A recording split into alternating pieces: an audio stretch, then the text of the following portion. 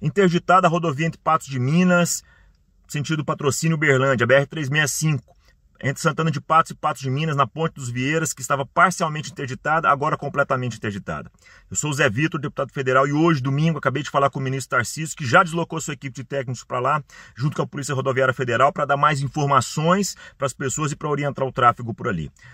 Amanhã mesmo, uma equipe de especialistas estará se deslocando para avaliar os danos e nos próximos dias apresentar uma solução técnica para que essa ponte seja reformada e para que desvios possam ser feitos. Se tratar de uma ponte, não é tão simples fazer um desvio, mas encontrarão uma saída. Você que está passando por ali, não tem jeito, evite. Infelizmente, os, transtornos vieram. Chuva, que é sinal de vida, também, infelizmente, tem trazido estragos e perdas. Temos que ficar atento agora e dar as mãos. Inclusive, é hora de tratarmos sobre a pavimentação da BR-352, que seria uma importante alternativa para esse caminho. Vamos seguindo em frente, cobrar melhorias e juntos, unidos, por um Brasil, uma região mais forte.